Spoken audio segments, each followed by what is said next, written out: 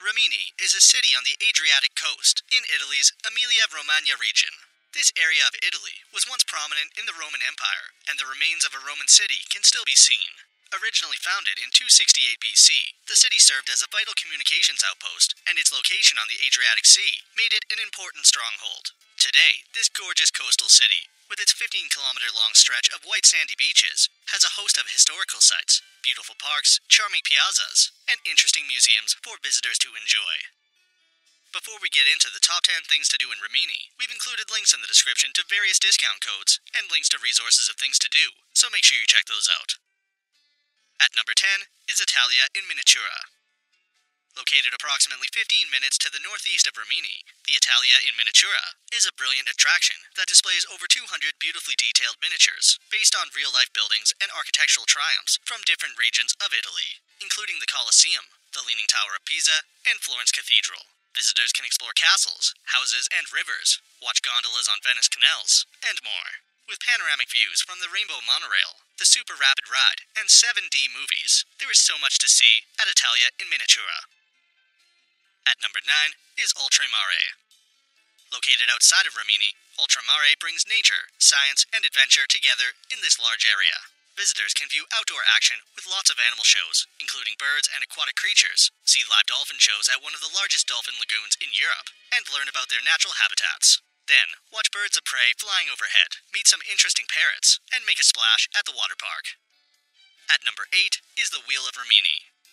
Situated on the waterfront, the Wheel of Rimini is a fantastic way to take in the scenic views of the city and the ocean beyond. The giant Ferris wheel was built in 2009, complete with self-enclosed booths, at the end of a marina. Rising to a height of 55 meters, visitors can see the entire length of the Riviera on a clear day. Number 7 is Tempio Malatestiano. The Tempio Malatestiano, or the Church of San Francesco, as it was correctly known up until the 19th century, is one of the most impressive monuments in Rimini.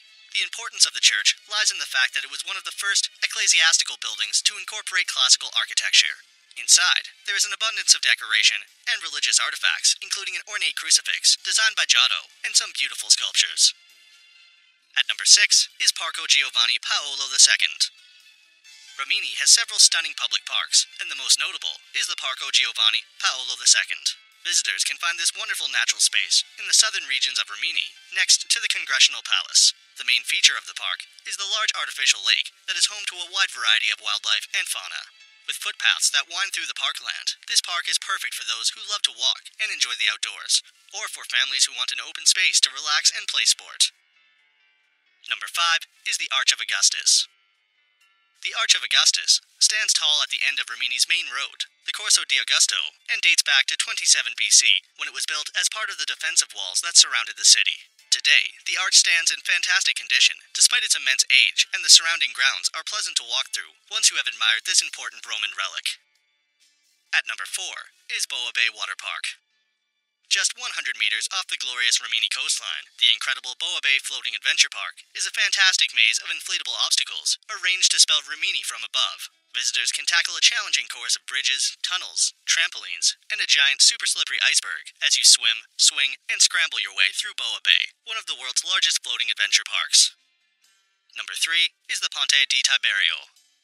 Rimini's Ponte di Tiberio is a Roman bridge completed in 20 AD during the reign of Tiberius. Its five arches span the canal, and it links the city center to the picturesque Borgo San Giuliano. The bridge still stands in practically perfect condition, despite being nearly 2,000 years old, and during a calm day, the reflection of the bridge in the deep blue water creates a perfect scene. At number 2 is Rimini Beaches.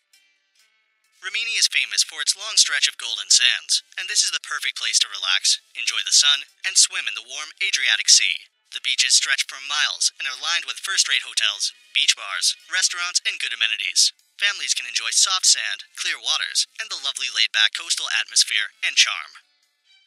And at number 1 is Mirabilandia. Stretching around three small lakes, Mirabilandia, on Italy's Adriatic coast, is one of the most popular amusement parks in the whole country. Located to the northwest of Rimini, this amazing park is full of fun rides and attractions for people of all ages. Visitors can ride on super fast roller coasters, get soaking wet on a log flume, or take a ride in a large Ferris wheel. There are also gentler rides for the kids. and amazing shows, including Wild West duels, stunt diving, street dance spectaculars, and a brilliant water park. So that sums up our top 10 things to do in Rimini. We hope you enjoyed. If you did, please leave a like, and if you're new here, feel free to subscribe. Until next video, have a great day.